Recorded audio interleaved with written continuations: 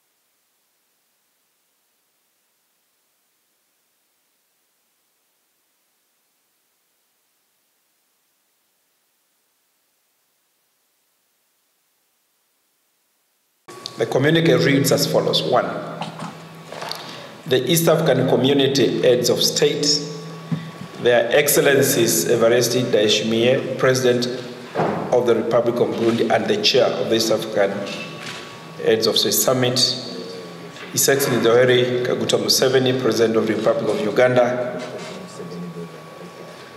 Paul Kagame, President of the Republic of Rwanda, Her Excellency President of the United Republic of Tanzania, His Excellency Felix Tshisekedi Tshilombo, President of the Democratic Republic of Congo, His Excellency Dr. William Samoei Ruto, President of the Republic of Kenya, Honorable Deng Alor Kuol, Minister of African Community Affairs, representing His Excellency President Salva President of the Republic of South Sudan, held the 20th extraordinary meeting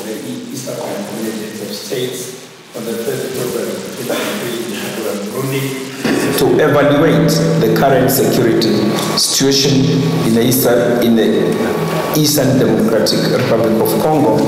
The heads of state met in a cordial and friendly atmosphere. To the summit, received reports on the current security situation in the eastern DRC from the facilitator of the ESC led Nairobi process and the force commander of the East African Community Regional Force. Through the summit, observed that the security situation in eastern DRC is a regional matter that can only be sustainably resolved through a political process and highlighted the need for enhanced dialogue amongst all political parties. For the heads of state directed that the political process be strengthened and escalated to involve all stakeholders. And five, the heads of state directed one, immediate ceasefire by all parties.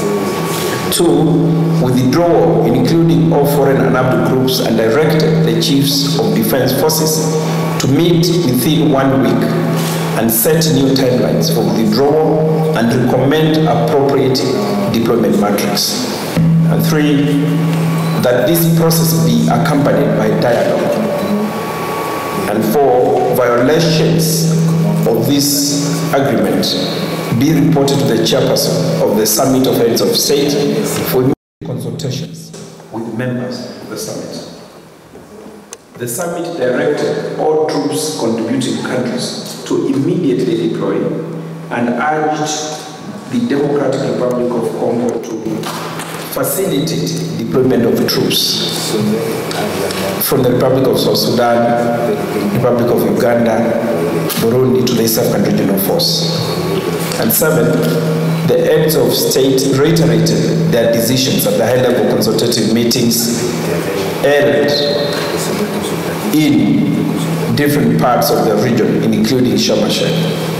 Eight, the summit noted with appreciation the financial contributions by the Republic of Kenya and the United Republic of Tanzania and thanked the Republic of Rwanda and the Republic of Uganda for their commitment to contribute to the East African Community Peace Facility Fund. Nine, the heads of state called upon all parties to respect and implement decisions of the summit and obligations agreed upon in previous meetings of heads of state and other established instruments in the restoration of peace and security in eastern DRC.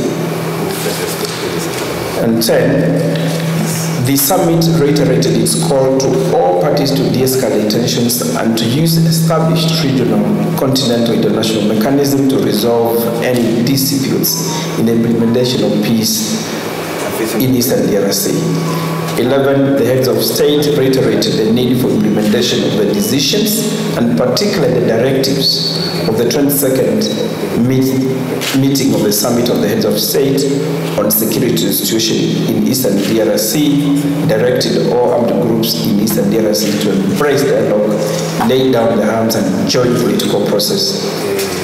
And finally, the heads of state thanked His Excellency Evariste Ndayishimiye, President of the Republic of Burundi, and chairperson of the Summit of the East African Community Heads of State for his continued engagement and commitment towards supporting the people of Eastern DRC and the entire East Africa in pursuit for sustainable peace and security. Today, 4th February 2023, Bujumbura, Republic of Burundi. I thank you.